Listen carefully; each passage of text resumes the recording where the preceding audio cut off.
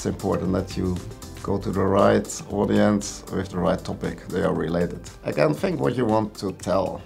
Really think about that and then think about your audience.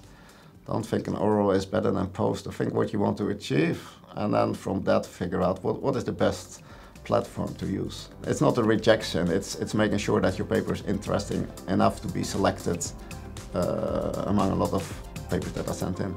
Really, uh, when you're submitting an abstract, you should uh, follow the guidelines. Guidelines are there for a reason. Personally, I, as a reviewer, I, I look for a good uh, technical uh, talk.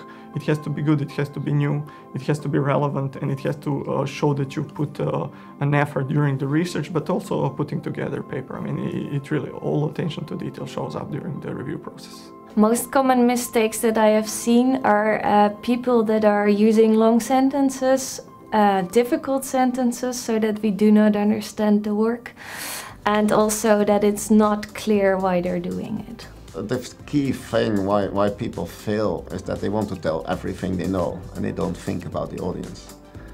Really limit, use the 20 minutes to tell one thing very good instead of five things on a mediocre level that nobody remembers. And if you try to tell 10 things, probably your paper is not selected. One big takeaway uh, when uh, when you're being rejected at the annual taker uh, annual conference, uh, you shouldn't take it against you. Uh, you shouldn't be discouraged in submitting and uh, publishing next time. It really should work in your favor, and you, it, it should make you be better and publish and present stronger material next time.